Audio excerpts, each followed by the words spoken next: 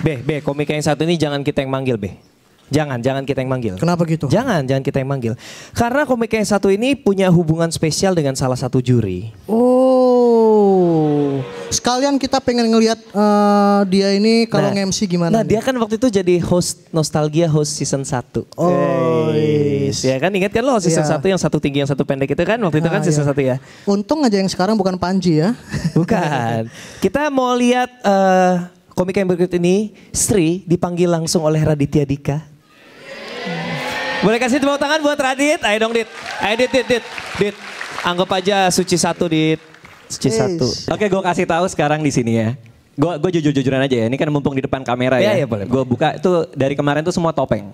Semua topeng. Oh, topeng. Jadi kemarin tepat jam 9 malam, Ya. gue sama Sri jadian. Astagfirullahaladzim. Tepat jam, jam 10 gue bangun dari tidur gue. Mimpi buruk men. Oh, oke. Gue muntah paku langsung. Tukang pakunya keluar sekalian. Sama tukang-tukangnya. Iya, keluar semen gue bikin rumah dari muntah itu. Kacau men. Efektif ya mimpinya ya. Oke kita panggilkan calon istriku Astagfirullahaladzim Ibu dari anak-anakku Ya Allah Hidup dan matiku Gitu, gitu gak sih? Satu, Oke, dua, ada. tiga. Sri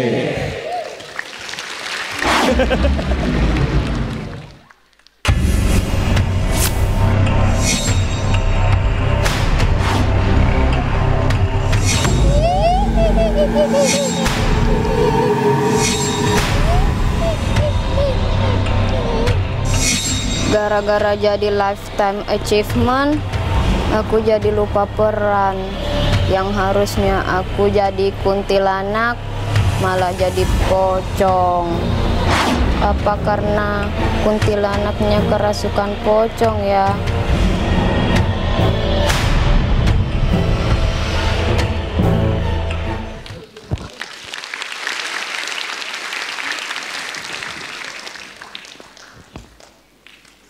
Berat. Sebentar, saya mau sujud syukur dulu. Soalnya Radit sudah memimpikan saya.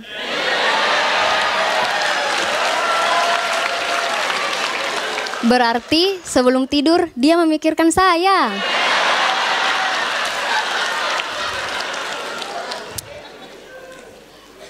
Ada fakta yang mengatakan kalau menonton TV terlalu dekat itu bisa bikin penglihatan kita rusak, mata kita rusak. Tapi itu salah. Saya itu toh kalau di rumah nonton TV itu selalu dekat, tapi mata saya tidak rusak. Karena saya nonton TV dari belakang. Aduh. Pertamanya saya itu ke bioskop di Makassar. Itu di dalamnya gelap. Makanya saya bawa obor.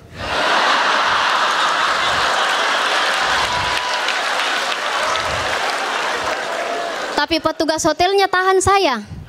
Dia bilang, "Ndak boleh. Kenapa kau bawa obor kah? Primitif."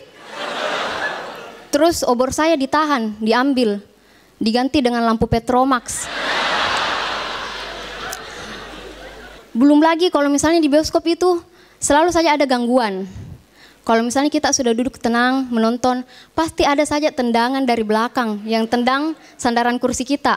Serius, bahkan saya pernah ada orang kasih naik kakinya di kepalaku. Serius. Saya tidak mau ganggu orang seperti itu, itu jahat. Saya tidak mau ganggu orang seperti itu, karena kaki saya tidak sampai. Betulan. Tapi saya pernah coba satu kali, dan kaki, kaki saya itu sampai. Betulan, kaki saya itu sampai. Tapi semua badanku ada di lantai.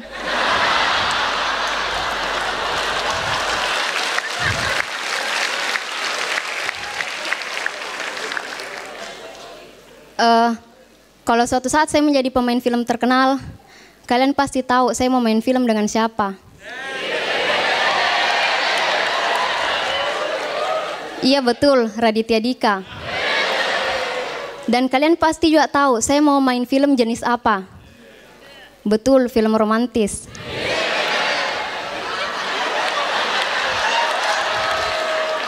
Iya, saya mau main film romantis dengan Raditya Dika. Tapi di channel Animal Planet.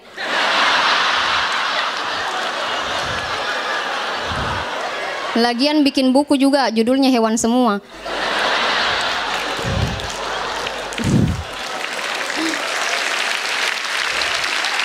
Tapi awalnya itu saya sebenarnya sama Radit berencana mau bikin film Rahasia Ilahi.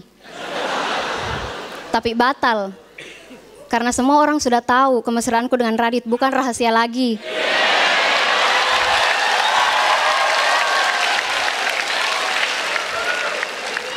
Saya Surahayu, terima kasih.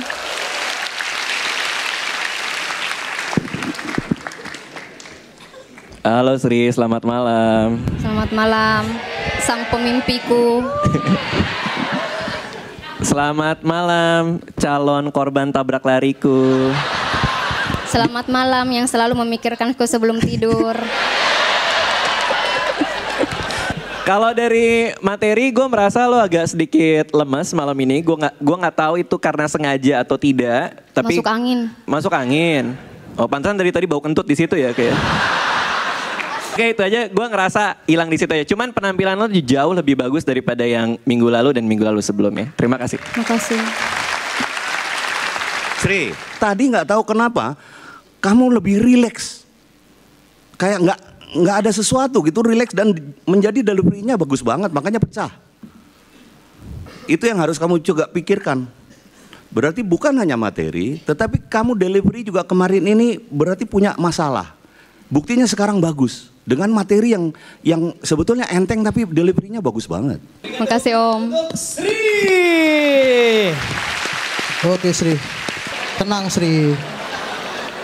Jodoh itu di tangan Tuhan, usaha di tangan kalian berdua. Nanti pasti bakal diajak main film kok Maradit.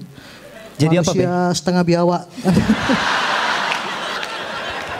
Iya, Lifetime Achievement Award buat Sri. Semoga Yeah, Kak Sri boleh spend lifetime-nya sama Radit ya Time kan. lifetime. Sekali lagi tepuk tangan buat Sri.